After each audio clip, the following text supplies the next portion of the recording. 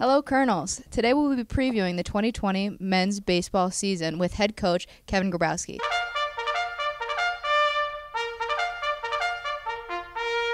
Thank you for being with us today. Thank you for having me. First, we're going to talk about your expectations going into your 2020 season.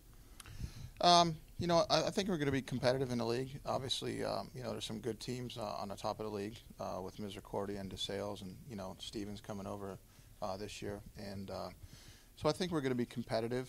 Um, you know, we're a scrappy team, young team. We only have five seniors, so I think, you know, we'll be competitive with the with the other teams, and uh, you know, I'm looking forward to getting started. Great. Um, can you talk about your returning players?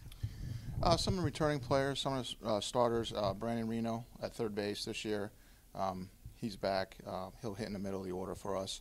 Um, getting Nick Pronti back uh, last year, he he got injured halfway through the year, so having him back and being healthy, I think that's going to help us out.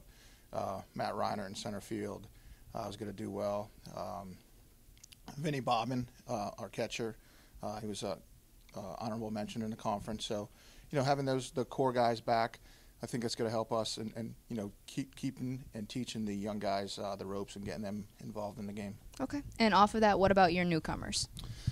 Uh, some of the newcomers, the freshmen. You know, incoming freshman Darren Kardesky. I think he's going to get some playing time uh, in the outfield. Um, you know, we have a, a catcher, uh, Alexis Velez. Um, he's going to do well uh, for us. Stone, Stone Warmoth, uh, third baseman.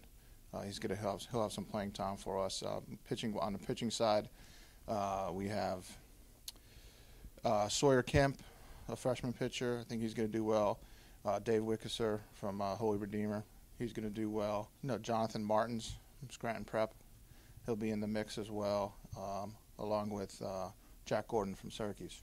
Okay, perfect. And what about your 2020 schedule? 2020 schedule is going to be competitive. Uh, you know, we go down south on Friday, so we you know get down there and get some games under our belt, um, and then come back here. We you know thrown right back into the mix. Uh, first conference game is against Misericordia, so uh, you know they're preseason top 25. So uh, you know, we got to be ready to go. Right. And what about the strength of the MAC conference?